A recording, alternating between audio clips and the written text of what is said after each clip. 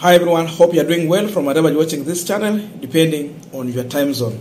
Now, yesterday, President William Samoei Ruto had a parliamentary group meeting with the Kenya Kwanza members of parliament, and uh, he was pushing for the list of names that they had already proposed for the EALA, East Africa Assembly.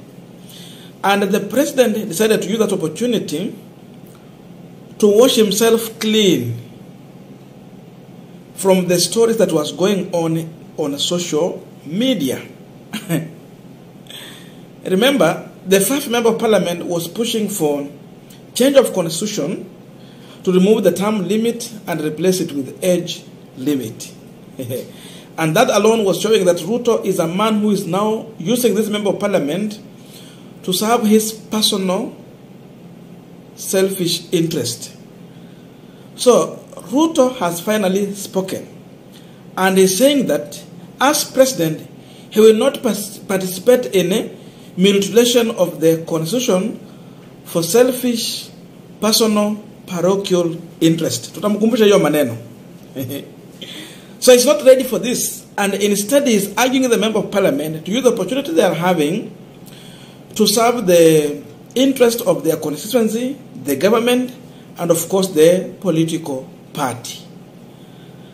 The question we are asking today why did the president take long to respond to this issue? Was he studying the mood of Kenyans or why this much long? I wanted to listen to him shortly, and then after this, we will look into that issue.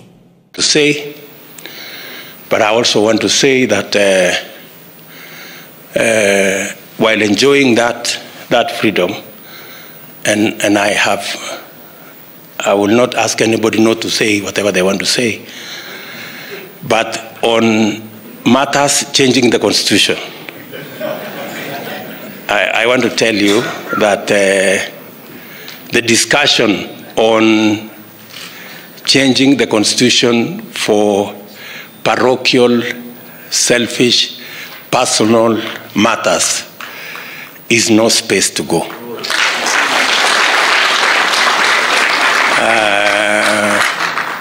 I, I, want to be very clear that uh, as president, I will not participate in mutilating the Constitution for purposes of serving selfish, personal, parochial interests. The same way, the same way we opposed BBI because it was meant to achieve selfish, parochial, personal interests. We will oppose any move to change the Constitution I will be at the front to say no to any change of the constitution, to change term limit, to change things that benefit individuals. Here, that is that, that is unnecessary, that is uncalled for, and it is an exercise in futility because it will not happen under my watch. Now we are continuing with the panel discussion, but just a quick request for those who are watching and they are yet to subscribe, please consider subscribing. To all our channel subscribers, those who are dropping comments, thank you so much for unconditional support. Again, I'm requesting to give this video a thumbs up so that YouTube can suggest our videos to more viewers. Quickly back to our discussion. Now, the question I had asked earlier was that why did the president take took this long to respond to this issue because this was a burning issue in this country. I'm saying like this because the change of the 2010 constitution we are having now came as a result of the previous president, the late retired, the late uh, Moi, who was oppressing some community in this country. If you are not with him, you are suffering. And already he served for a long time and uh, his leadership was not fruitful to some extent. So, Kenya thought that it is time to have a president who can serve two terms and again not that much all powerful. After that, he can exit and he can be answerable to the mistake he has done to the country so that when you are serving, you know that you will serve for a certain time and uh, you leave. Anyone who would want to go in that direction of returning us into Moi era, that's why people will always talk about Moi era, the impunity era. No one is comfortable with such discussion. Hmm. So, in my reasoning,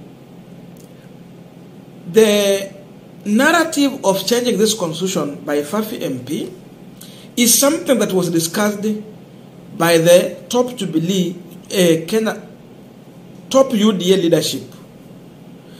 But the reason why the president took this much long was for him to get enough time, study the mind of Kenyans, the response from Kenyans.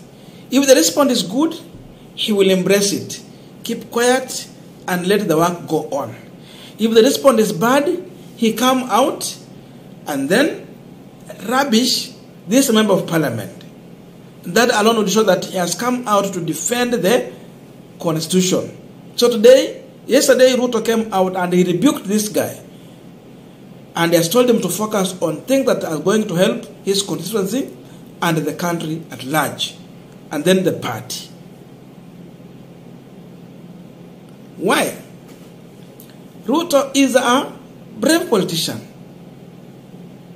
He understands that if it could, it could have come out that he's the one who was pushing for this, then he was going to remain with a, a rot egg in the face. So he has come out as a man who is prepared to defend the constitution the way he swear, eh, the way he, the way he swore to, to protect it, and saying that he will use every means possible to make sure that he's defending this constitution. And those people want to think about to change it, they should be defeated. so he's coming in as a defender of the constitution. But I can tell you, I see a president who's playing a reverse psychology with the minds of Kenyans. Because his agenda has totally failed, the public opinion court has rejected. Kenyans don't want that narrative. And that is a big reason why Ruto has decided to wash himself clean out of this matter after rejection from Kenyans. There is no another way I can describe it better than that. you see a rejection, take a reverse gear, again turn out as a man who was not behind this issue, and you look clean. So we will wait and see if Ruto will try to bring this discussion any other day, no matter where we will use, as long as it's within the Kenya Kwanza, we will understand that he's again bringing the debate, and we are going to remind him the words that he was using parochial, selfish, personal matters or interest. He said he's against that. So people should focus on things that are going to matter for Kenyans at large. In case we are going to have such a referendum, I think Ruto has just learned that it will, it will be rejected. So before rejection, don't wait until you have been uh, thrown into the mud. Then it becomes a problem to get out. So he's running away. I want to thank Kenyans, those who stood out to tell the president openly that we cannot go into that direction. It is a bad thing. We should not even think about it. It should be just rejected. And again, Ruto also learned that even within the Kenya Kwanza, not everyone is comfortable with that position. Kikuyu or the Gema nation also has interest in this future politics. So they, they cannot vote with him on that narrative. Someone like Musalia Mudavadi and the people who have been supporting Ruto with the 600,000 votes from Western, 0.6 million, eh, they cannot vote for Ruto in that direction because they have interest, at least in the near future, they can have someone on ballot. I don't think if Kalonzo and his people are going to vote into that, that direction. So the narrative totally lost to attract the momentum in this country. I don't want to think about this, but I'm seeing a president who has accepted the truth, though we know they can still introduce this thing in the near future. Thank you, but I'm waiting to read your comment, so let us meet in the comment section for continuation of this conversation.